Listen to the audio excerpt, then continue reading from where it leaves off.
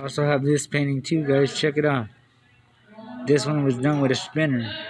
Pretty badass. I love this one. I don't know, but I've been obsessed with copper lately. Look how much copper I got in that one. Look at the cells, you know. This one has cell activator in the paint.